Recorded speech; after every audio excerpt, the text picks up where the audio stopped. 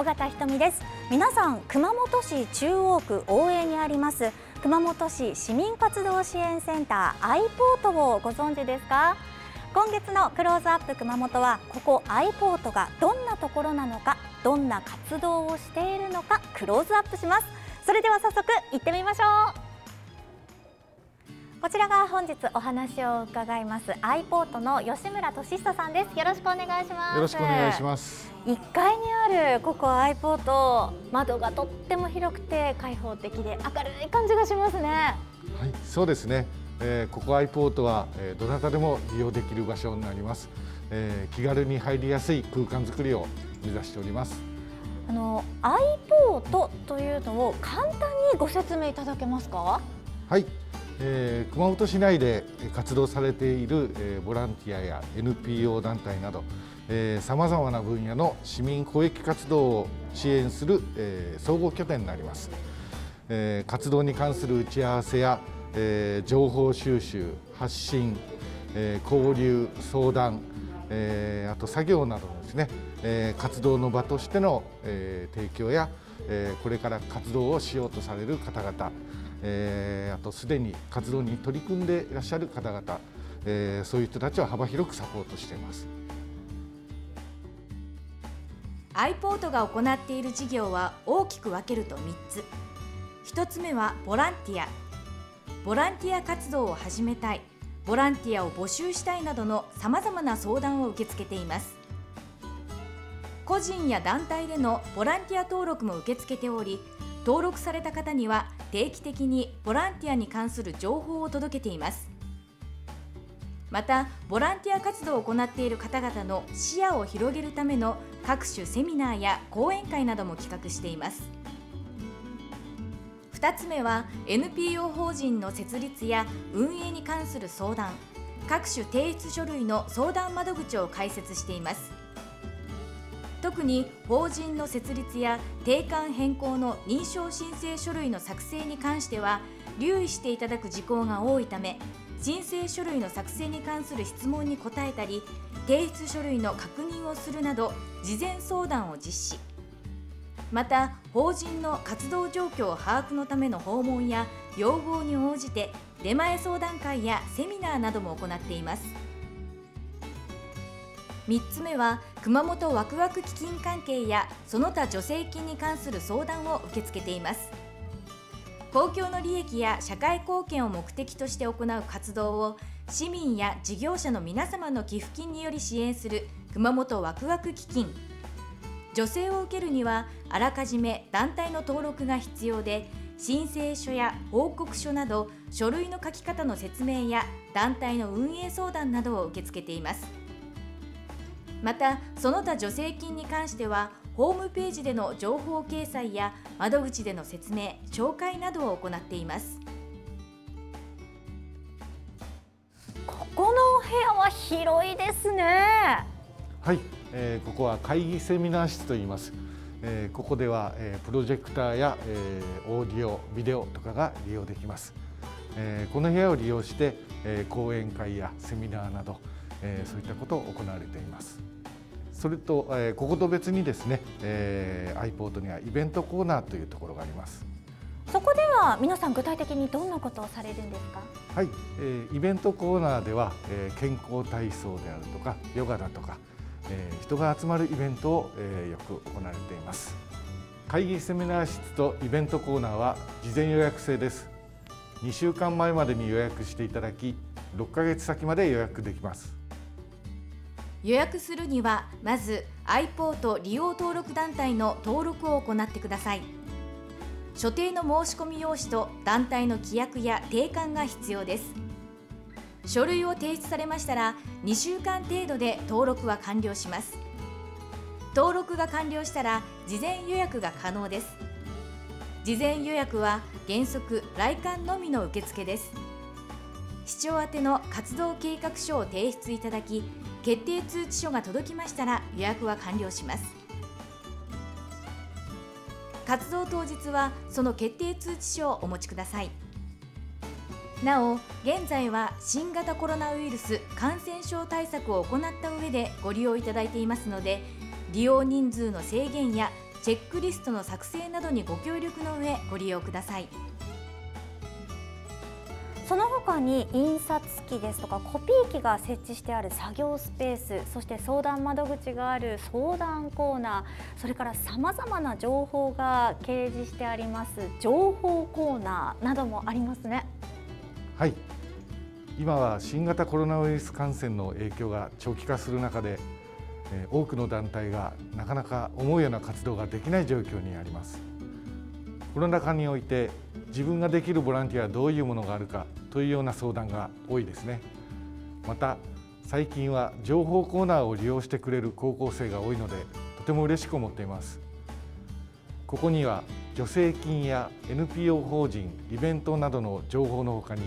ボランティアに関する情報も掲示しています。やはり今はボランティア活動も少ないんじゃないですか？そうですね。今はボランティアの受け入れ先もコロナ禍でなかなか体制を整えられずに受け入れ停止を行っているところが現状です。iPort としても何かこの状況でできるボランティアはないかと考えマスク製作提供ボランティアというのを始めました。これまで3000枚を超えるマスクが集まり多くの NPO 団体に提供して喜ばれています。この活動は自分の家でもできるボランティアとしてとても好評です。現在も募集を継続していますどの団体も今はウィズコロナの新しい活動様式を模索して感染症対策を十分に行った上でどのような活動を行っていけるか工夫しながら活動を続けていらっしゃいますね。どのような団体の方が活動されているのか今回は3つの団体へお話を伺いました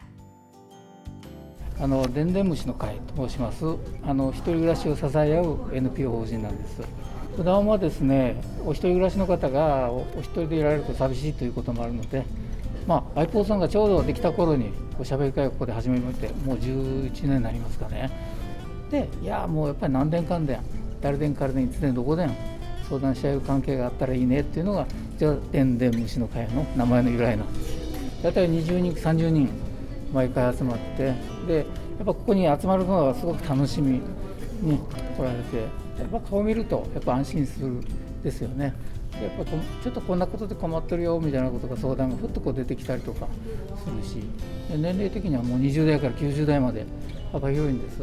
でやっぱり一人でちょっとこう抱え込んでたりとかえー、誰と相談もできないでそういう方なんかにねあのなんとなくおしゃべり会行ってみようかということで来ていただくといいかなと思いますけどね。